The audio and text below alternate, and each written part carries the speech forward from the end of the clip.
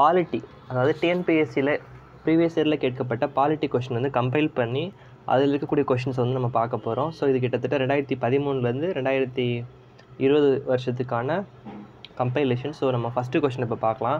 Attorney general by the president of India அதாவது இந்திய அரசியல் சட்ட விதிப்படி மத்திய அரசு தலைமை வழக் வழக்கறிஞர் குடியரசுத் தலைவராக நியமிக்கப்படுகிறார் எந்த விதின்னு கேட்டிருக்காங்க? ஆர்டிகிள் செவன்ட்டி சிக்ஸ் ஆர்டிகிள் எழுபத்தி ஆறின் அடிப்படையில் நியமனம் செய்யப்படுகிறார். அடுத்த question the Balwant Rai Mehta committee was appointed in Balwant Rai Mehta குழு அமைக்கப்பட்ட ஆண்டு எப்போன்னு பார்த்தீங்கன்னா ஆயிரத்தி தொள்ளாயிரத்தி ஐம்பத்தி ஆறு ஆயிரத்தி தொள்ளாயிரத்தி ஐம்பத்தி ஆறு. இது எதுக்காக அமைக்கப்பட்டது அப்படின்னு பார்த்தோம்னா பஞ்சாயத்தி ராஜ் சம்மந்தப்பட்ட விஷயங்களை ஆய்வு பண்ணுறதுக்காக நெக்ஸ்ட்டு பாருங்கள் judicial review is an important contribution of USC அதாவது நீதி புனராய்வின் முக்கியத்துவத்தை நடைமுறைப்படுத்திய நாடு எதுன்னு பார்த்தீங்கன்னா America. United States of America next question who is selected as the fourteenth president of India பதினான்காவது இந்திய குடியரசுத் தலைவர் யாருன்னு பார்த்தீங்கன்னா ராம்நாத் கோவிந்த். ராம்நாத் கோவிந்த் வந்து பதினாலாவது குடியரசுத் தலைவர். அடுத்த கொஸ்டின் ஆர்டிக்கிள் முந்நூற்றி எழுபது ஆர்டிக்கிள் முந்நூற்றி எழுபது எது சம்மந்தப்பட்டது ஜம்மு அண்ட் காஷ்மீர் அடுத்து பாருங்க.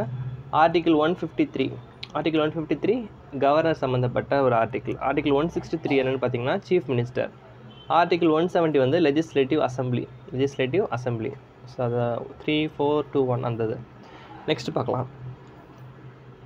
Which one of the following statement is correct with regard to the qualification of supreme court judge he or she must be a citizen of India அதாவது அவன் அவள் இந்திய நாட்டின் குடிமக்களாக இருக்க வேண்டும் அப்படின்னு சொல்லிட்டு சொல்லியிருக்கிறாங்க. ஸோ அந்த தான் வந்து சரியான ஸ்டேட்மெண்ட் ஸோ மிச்சது எல்லாமே வந்து வேறு ஹைகோர்ட்டு சு அதாவது சுப்ரீம் கோர்ட்டு ஜட்ஜ் ஆகிறது அதுக்குள்ள குவாலிஃபிகேஷன்ஸ் கொடுத்துருக்காங்க. ஸோ அதெல்லாம் நமக்கு தேவையில்லை. நெக்ஸ்ட்டு பார்க்கலாம். The maximum permissible gap between the two sessions of parliament six months அதாவது நாடாளுமன்றத்தில் இரு கூட்டங்களுக்கு இடையில் இருக்கும் கால இடைவெளி பார்த்தோம்னா ஆறு மாதம். ஆறு மாதத்து ஆறு மாதங்கள் தான் இருக்கணும். அதுக்கு மேலே இருக்கக்கூடாது. அப்படி இருந்துச்சுன்னா கண்டிப்பாக இருக்கக்கூடாது. அப்படி வந்து ரூல் படி அதுக்குள்ளே நடத்தி ஆகணும் அடுத்த செஷனை which of the following statement is are correct the president of India is the head of the state அதாவது பிரசிடென்ட் வந்து நாட்டுடைய தலைவர். All executive powers of union vested and the president அதாவது நிர்வாக அதிகாரங்கள் எல்லாம் வந்து பிரசிடென்ட்டுக்கு கீழே இருக்குது அப்படின்னு சொல்கிறாங்க ஸோ ரெண்டுமே ரைட்டு தான். ஸோ அவருடைய பேர்லாம் செயல்படுத்துவாங்க. ஸோ அதான் இங்கே விஷயம். ஸோ நெக்ஸ்ட் கொஸ்டின் பார்க்கலாம் இப்போ.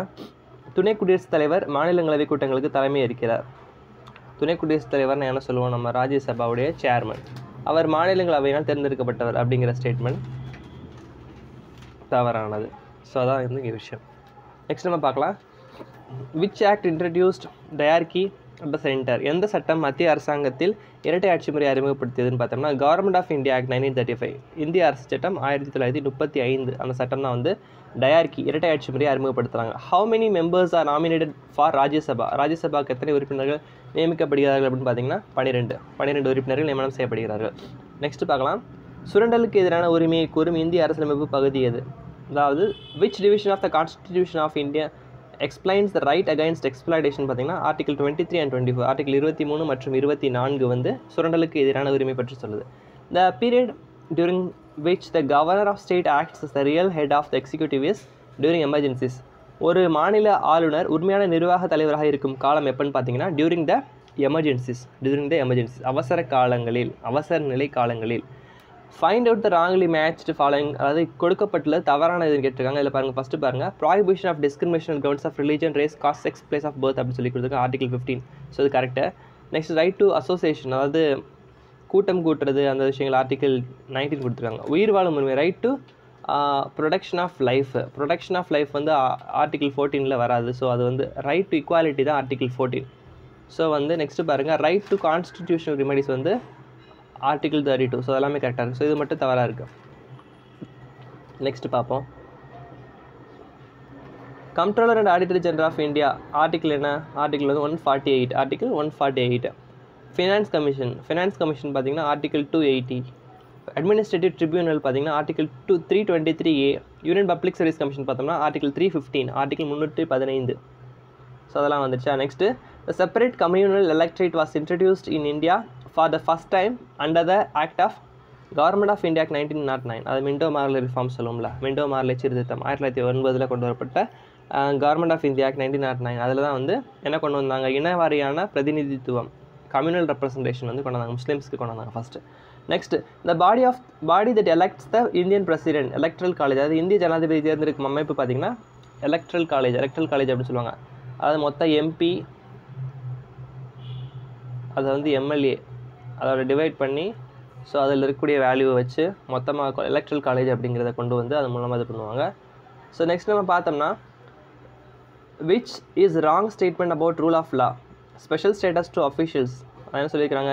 கீழ்கண்ட சட்டத்தின் ஆட்சி பற்றி தவறான குற்றது அதிகாரிகளுக்கு சிறப்பு தகுதி சிறப்பு அந்தஸ்து அப்படிங்கிறது தான் அது. சட்டத்தின் ஆட்சியின்படி தவறானது. அது வந்து சம்மந்தம் இல்லாமல் இருக்குது அது வந்து அட்மினிஸ்ட்ரேட்டிவ் ரிலேட்டடாக உள்ளது. Not rule of law so அடுத்து பார்க்கலாம். Which of the following feature is not not in the parliamentary system அது கீழ்கண்டவற்றில் பாராளுமன்ற முறையில் இல்லாத இதுன்னு கேட்டிருக்காங்க. அதில் பாருங்கள் பெரும்பான்மை கொண்ட கட்சியின் ஆட்சி இருக்குது பிரதமரின் தலைமை அதாவது prime minister government leadership of prime minister அடுத்து கீழவை கலைக்கு dissolution of lower lower house அதாவது கீழவை கலைக்கும் லோக்சபா கலைக்கக்கூடிய அதிகாரம் எல்லாமே இருக்குது ஒற்றை தலைமை சிங்கிள் எக்ஸிக்யூட்டிவ் கிடையாது. சிங்கிள் எக்ஸிக்யூட்டிவ் கிடையாது. பிரசிடென்ட் இருக்கிறாரு பிரைம் மினிஸ்டர் இருக்கிறாரு. ஸோ இவங்களாம் இருக்கும்போது சிங்கிள் தலைமை அப்படிங்கிறது வராது. ஸோ அதுதான் வந்து தவறானது. நெக்ஸ்ட் பார்ப்போம்.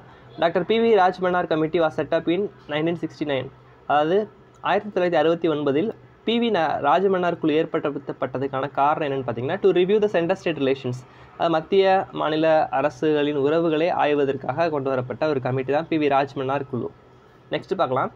When was the Indian independence act passed by the British parliament அதாவது பிரிட்டன் பாராளுமன்றத்தில் இந்திய சுதந்திர சட்டம் இயற்றப்பட்ட ஆண்டு பார்த்தீங்கன்னா ஜூலை பதினெட்டு ஆயிரத்தி தொள்ளாயிரத்தி நாற்பத்தி ஏழு ஜூலை பதினெட்டு ஆயிரத்தி தொள்ளாயிரத்தி நாற்பத்தி ஏழு article fifty one A of the Indian constitution deals with fundamental duties அது ஆர்டிகல் ஐம்பத்தி ஒன்று ஏ பார்த்தீங்கன்னா அடிப்படை கடமைகளை பற்றி சொல்லக்கூடிய பிரிவு வந்து இது. இதில் வந்து பதினோரு கடமைகள் இருக்குது இப்போ. நெக்ஸ்ட் நம்ம பார்க்கலாம். Which article of the Indian constitution granted powers to the president of India to nominate two members from Anglo Indian community to Lok Sabha article three thirty one so இதை வந்து ரிப்பீல் பண்ணிட்டாங்க. So இந்த இந்த provision வந்து இப்போ repeal பண்ணிட்டாங்க. இருந்தாலுமே நம்ம ஆர்டிகல் த்ரீ தேர்ட்டி ஒன் பற்றி ஞாபகம் வச்சுக்கோம் நெக்ஸ்ட் பார்க்கலாம். The concept of judicial review was borrowed from அதாவது நீதி புனராய்வு பெறப்பட்ட நாடு யூஎஸ்சி இந்த கொஸ்டின் இருக்குன்னு நம்ம பார்த்தல ஸோ யூஎஸ்சி அந்த தான் next how many numbers were nominated by the British இந்த cabinet mission in nineteen forty six அதாவது ஆயிரத்தி தொள்ளாயிரத்தி நாற்பத்தி ஆறு ஆங்கிலேயர்கள் அமைக்கப்பட்ட அமைச்சரவை தூதுக்குழுவின் உறுப்பினர்கள் எண்ணிக்கைன்னு பார்த்தீங்கன்னா மூன்று பேர். Stafford Cripps Pethick Lawrence so அது மாதிரி அவங்க ரெண்டு பேர் அப்புறம் இன்னொருத்தர் மூணு பேர் மொத்தம். Which article of Indian constitution says that state shall provide free and compulsory education to all the childrens age of six to fourteen years in such manner of the state may determine ஆறு முதல் பதினான்கு வயது வரையிலான குழந்தைகளுக்கு அரசு தீர்மானிக்கும் வழிமுறையில் இலவச மற்றும் கட்டாய கல்வி வழங்கலாம் என்று இந்திய அரசமைப்பு எந்த இது சொல்லுன்னா article twenty one A article twenty one A so article twenty one A தான் வந்து six to fourteen years of age அந்த அந்த வயதில் இருக்கக்கூடிய குழந்தைகளுக்கு இலவச கட்டாய கல்வி. கம்பல்சரி ஃப்ரீ எஜுகேஷன் நெக்ஸ்ட் பார்ப்போம். Who is regarded as father of all India service all India services அதாவது இதில் பாருங்க கொஸ்டின் நல்லா பாருங்கள் father of all India services யாருன்னா Sardar Vallabhbhai Patel. Sardar Vallabhbhai Patel IAS IPS IFS so அதை create பண்ணுறதுக்கு ரொம்பவே வந்து அவர் தான் முயற்சி எடுத்தார். ஸோ சர்தார் வல்லபாய் பட்டேல் தான் அதுக்கான ஆன்சர் நெக்ஸ்ட் பார்க்கலாம். The fifty ninth amendment act nineteen eighty eight provided the necessary restrictions could be imposed on liberty of individual and life ஐம்பத்தி ஒன்பதாவது அரசியலமைப்பு சட்ட திருத்தம் ஆயிரத்தி தொள்ளாயிரத்தி எண்பத்தி எட்டு மக்களின் எந்த உரிமை மீது தடை விதித்தது தனிநபரின் வாழ்வு மற்றும் சுதந்திர உரிமை. The number of benches of central administrative tribunal India is seventeen அதாவது இந்தியாவில் உள்ள மத்திய நிர்வாக தீர்ப்பாணையத்தில் உள்ள அமர்களின் எண்ணிக்கை பார்த்தீங்கன்னா பதினேழு. Which one of the following pair is not correctly match இதை பாருங்கள் ஆர்டிகல் த்ரீ டுவெண்ட்டி எயிட் வந்து நேஷனல் கமிஷன் ஃபார் எஸ்சி அப்படின்னு சொல்லி கொடுத்துருக்காங்க. ஸோ அது வந்து தவறாக பொருந்திருக்கு மிச்சம்லாம் பாருங்கள் article two eighty article three fifteen UPSC three twenty four election கமிஷன்லாம் கரெக்டாக பொருந்திருக்கு நேஷனல் கமிஷன் ஃபார் எஸ்சி தான் தவறாக பொருந்திருக்கு நெக்ஸ்ட்டு பார்க்கலாம். Forty second amendment act of Indian constitution of ext enacted in the year nineteen seventy six நாற்பத்தி ரெண்டாவது அரசியலமைப்பு சட்ட நிறைவேற்றப்பட்ட ஆண்டு ஆயிரத்தி தொள்ளாயிரத்தி எழுபத்தி ஆறு ஆயிரத்தி தொள்ளாயிரத்தி எழுபத்தி ஆறு. The supreme court of India is located in Delhi இந்திய உச்சநீதிமன்றம் அமைந்த இடம் Delhi who appoints central vigilance commissioner president president தான் நியமனம் செய்கிறார் குடியரசுத் தலைவர் நியமனம் செய்கிறார் சிபிசியுடைய தலைவர். ஐம்பத்தி ரெண்டாவது அரசியலமைப்பு சட்ட திருத்தம் ஆயிரத்தி தொள்ளாயிரத்தி எண்பத்தி அஞ்சதை குறிக்கிறது. ஆன்டி டிஃபெக்ஷன் லா கட்சி தாவல் தடை சட்டம். நெக்ஸ்ட் பார்ப்போம். One third of the members of the Rajya Sabha retires every two years அதாவது ரெண்டு வருடங்களுக்கு ஒரு முறை மூன்றில் ஒரு பங்கு உறுப்பினர்கள் வந்து அவங்களுடைய பதவியை வந்து விட்டு ஓய்வு பெறாங்க. Rajya Sabha consist of two fifty members இரநூத்தி ஐம்பது உறுப்பினர்கள் இருக்காங்க ராஜ்யசபாவில் நெக்ஸ்ட் பார்த்தோம்னா a judge of high court shall hold office till age of sixty two அதாவது ஹைகோர்ட் நீதிபதி வந்து அறுபத்தி இரண்டு வயது வரை அவருடைய பதவி வந்து வகிக்கலாம் அப்படிங்கிறது தான் அது. Next budget session budget session பார்த்தீங்கன்னா ஃபெப்ரவரி மான்சூன் செஷன் மான்சூன் செஷன்னா பருவகால கூட்டத்தொடர். மான்சூன் செஷன் பார்த்தீங்கன்னா ஜூலை மணி பில் பார்த்தோம்னா லோக்சபா. வின்டர் செஷன் பார்த்தீங்கன்னா நவம்பர். குளிர்கால கூட்டத்தொடர். In which year the panchayat raj system introduce Tamil Nadu. தமிழ்நாட்டில் பஞ்சாயத்து ராஜ் சட்டம் அறிமுகப்படுத்தப்பட்ட ஆண்டு ஆயிரத்தி தொள்ளாயிரத்தி ஐம்பத்தி எட்டு அதாவது மெட்ராஸ் பிரசிடென்சி மெட்ராஸ் அப்படிங்கிற அந்த பேரில் இருக்கும்போதே மெட்ராஸ் பஞ்சாயத்து சட்டம் போட்டு ஆயிரத்தி தொள்ளாயிரத்தி ஐம்பத்தி எட்டில் அறிமுகப்படுத்தப்பட்டது. Which amendment right to the property abolished by the கன்ஜூர் constitution forty fourth amendment act of nineteen seventy eight நாப் நாற்பத்தி நாலாவது அரசியல் சட்ட திட்டம் ஆயிரத்தி தொள்ளாயிரத்தி எழுபத்தி எட்டில் என்ன பண்ணாங்க அப்படின்னா ரைட் டு ப்ராப்பர்ட்டி வந்து இது பண்ணிட்டாங்க. அடிப்படை உரிமையிலேருந்து நீக்கம் செய்யப்பட்டது. த்ரீ ஹண்ட்ரட் ஏல கொண்டு போய் வச்சுருவாங்க. ஸோ நெக்ஸ்ட் பார்க்கலாம். Constitution of India classified the fundamental rights is follow six இந்திய அரசியலமைப்பில் உள்ள அடிப்படை உரிமைகளின் எண்ணிக்கை பார்த்தீங்கன்னா ஆறு. ஆறு வந்து அடிப்படை உரிமைகள். ஃபண்டமெண்டல் ரைட்ஸ் நெக்ஸ்ட்டு பார்த்தோம் அப்படின்னா இந்தியன் பா Indian parliament has a bicameral legislature Lok Sabha is lower house and Rajya Sabha is upper house எல்லாமே வந்து சரியானது. சரியான விளக்கமாக இருக்கிறனால இந்த கொஸ்டின் சரியானது. நெக்ஸ்ட் பார்ப்போம்.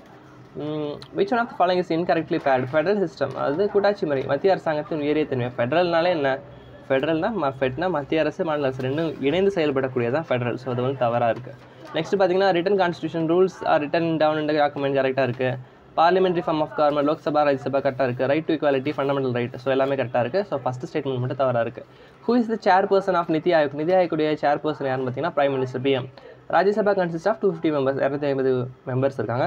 Money bills can be delayed by Rajya Sabha only for fourteen days பதினான்கு நாட்களுக்கு மட்டும்தான் அந்த கன்சிடரேஷனில் வச்சுக்க முடியும். அதுக்கப்புறம் அதை மறுபடியும் சென்ட் பண்ணி ஆகணும்.